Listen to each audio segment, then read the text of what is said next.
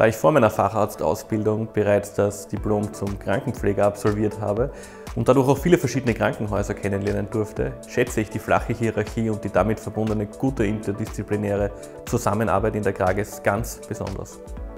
Die Arztausbildung in der Krages ist für mich sehr vielfältig und abwechslungsreich.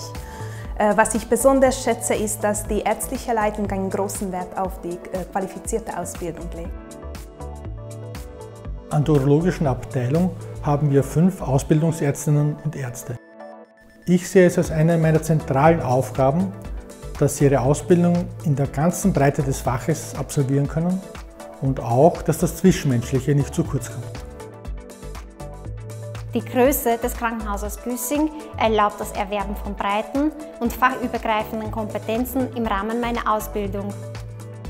Aufgrund der überschaubaren und verlässlichen Strukturen in der Krages ist eine qualifizierte Facharztausbildung in der vorgesehenen Zeit möglich.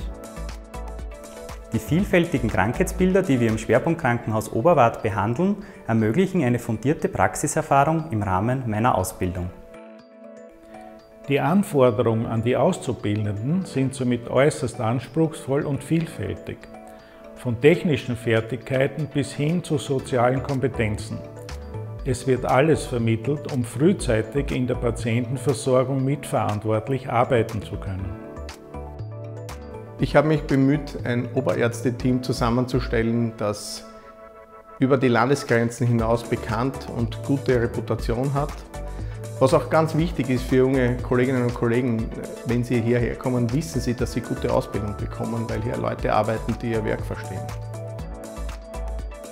Ich habe die gesamte Ausbildung innerhalb der Krages absolviert und dadurch eine wirklich fundierte und vielseitige Fachkompetenz erworben.